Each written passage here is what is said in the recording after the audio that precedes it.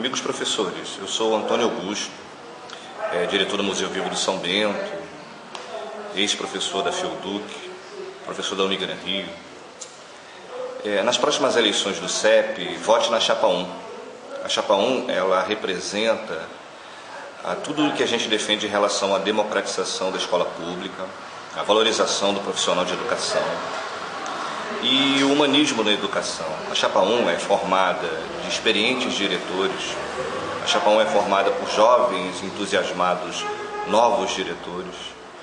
E a Chapa 1, ela pode defender a bandeira da dignidade da educação, pode fazer com que as nossas conquistas avancem em direção a uma escola, escola pública cada vez mais valorizada e cada vez mais efetiva na educação dos jovens desse estado e desse município.